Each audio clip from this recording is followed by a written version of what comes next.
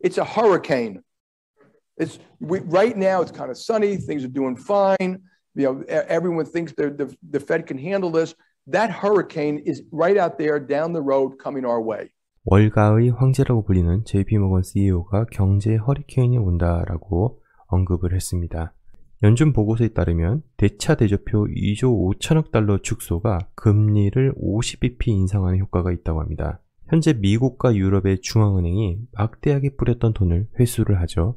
이것은 시중에서 1년 내 2조 달러가 사라지는 효과를 가져온다고 합니다. 이전의 양적 긴축과는 다른 모습이죠. 상당히 속도감 있게 그리고 많은 돈을 흡수를 합니다.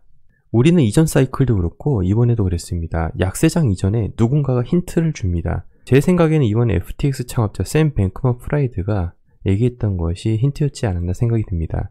약세장에서 우리가 해야 할 일은 개발이라고 해서 1월 6일 당시에 트윗을 올렸었는데요. 그는 분명히 말하자면 나는 지금 암호화폐 시장이 약세장에 들어섰다고 말하는 것이 아니다 라고 얘기를 했지만은 어떠한 그 부담감 때문에 이렇게 얘기했지 않았나 싶습니다. 결국에는 이 말이 맞았다고 얘기를 할 수 있겠네요. 현재 암호화폐 채굴과 암호화폐 거래에서는 그렇게 좋은 소식이 나오지 않고 있죠. 뉴욕 상원에서 신규 암호화폐 채굴을 2년간 금지하는 법안을 통과시켰습니다. 또한 미국 증시에 상장된 비트코인 채굴 기업인 라이엇 블록체인이 지난 5월 250 비트코인을 현금화했다고 합니다. 이것은 5월 채굴량의 절반 규모라고 하는데요. 처럼 채굴 업체가 수익성 하락에 보유하고 있던 비트코인을 현재 매각 중이라고 합니다. 약세장에서 특히 나타날 수 있는 부분이 바로 거래소에서 움직임인데요. 미국 재미니 거래소 그리고 코인베이스 같이 기존에 있던 인원을 감축하거나 아니면 신규 채용을 일시 중지시키고 있습니다. 재미니 직원 같은 경우는 10% 해고를 한다고 합니다. 2014년 설립 이후 처음이라고 하는데요. 또한 중동에 있는 대형 암호화폐 거래소에서도 직원을 수십 명 해고했다고 합니다. 어, 국내에서도 지난 하락장 때 그랬었죠. 많은 인원 감축 및 그리고 많은 거래소들이 사라졌습니다.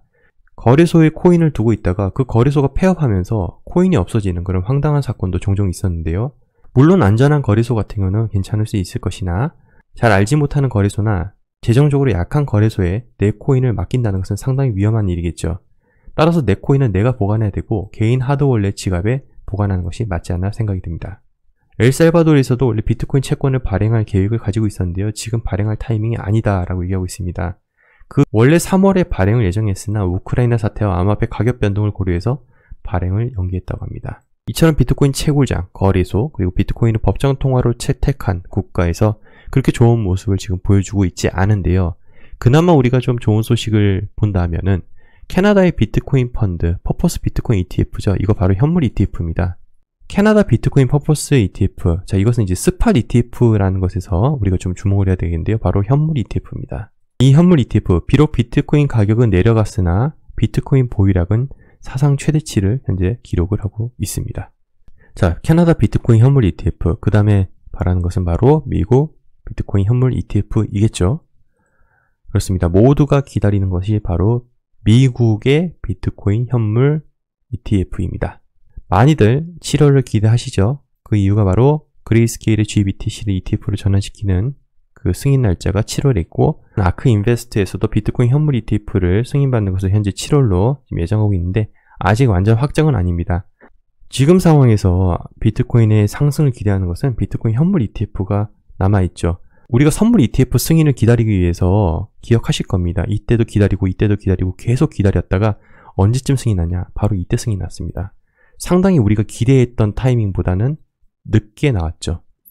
그래서 현물 ETF 뭐 당장 7월에 되면 좋겠지만은 너무 기대를 하면 또 실망도 큰 법이죠. 그래서 너무 7월에 목숨을 걸고 하는 것보다 어느 정도 시간적 여유를 두고 지켜보는 것이 더 현명하지 않나 생각이 듭니다. 현재 비트코인 암호화폐 상황 앞에서 말씀드렸던 전체 매크로 상황에서 크게 벗어나지를 못합니다. 모두가 디커플링을 원하지만은 아직까지는 아니라고 할 수 있겠네요. 결국에는 시간 문제입니다. 근데 이제 이 시간이라는 것이 상당히 고통스럽죠. 왜냐하면 모두가 장기 투자를 하는 것이 아니거든요. 어쩌다가 물린 사람도 상당히 많습니다. 특히 작년에 참여하신 분들은 특히 더 그렇고요. 그래서 아 그래서 괜히 암호화폐 시장이 들어왔나 해서 후회하시는 분들 그리고 시장을 떠나시는 분도 계십니다.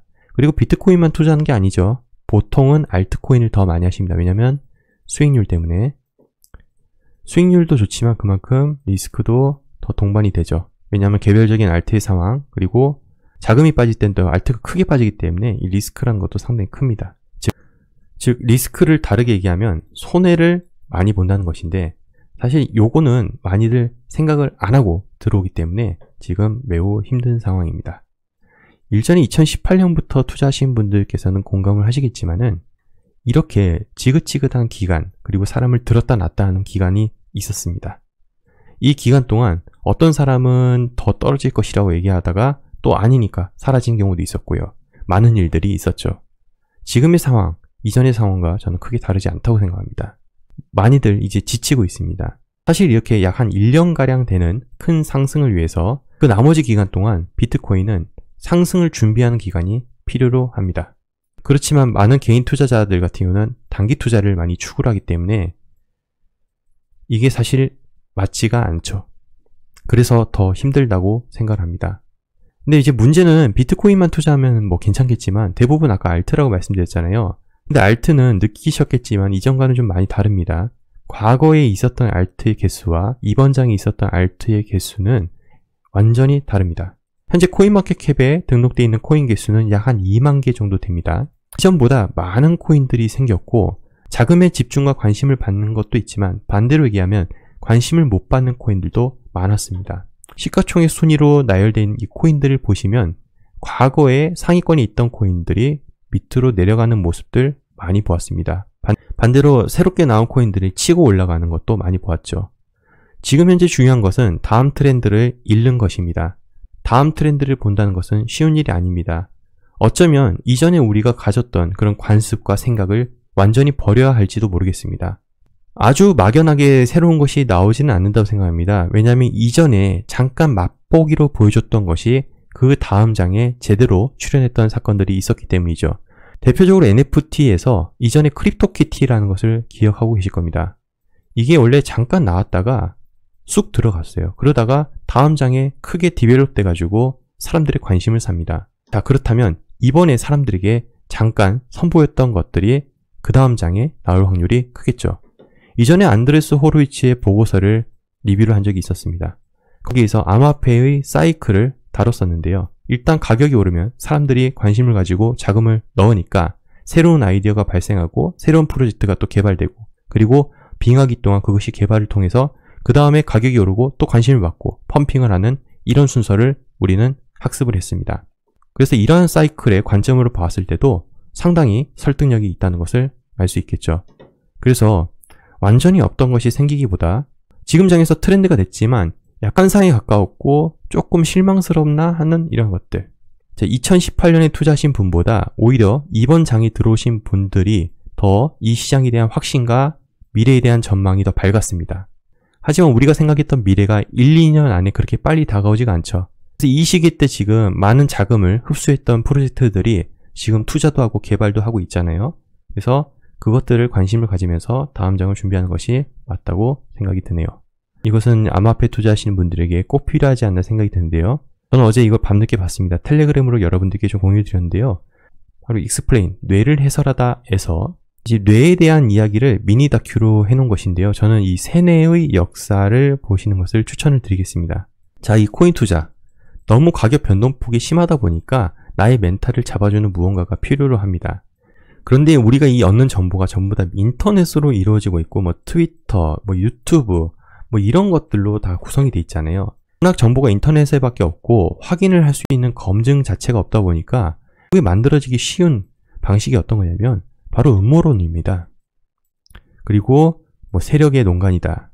짜고 치는 고수톱이다. 이런 식으로 마무리를 지어져 버리는 것이죠. 그러면 사람들은 또 믿을 수밖에 없어요. 왜냐면 정보의 양이 워낙 적고 밖에 가서 얻을 정보가 없지 않습니까? 전부 다, 다 인터넷에밖에 없으니까. 이번 주말에 넷플릭스에 가입돼 있으신 분이 계시다면은 요 미니 다큐 30분도 안 됩니다. 한번 보시고 한번 또 의견 나눠보는 시간 가져봤으면 좋겠네요.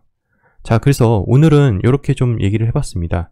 또 다음 시간에 여러분들께 유익한 정보를 찾아뵙도록 하겠습니다. 시청해주셔서 감사합니다.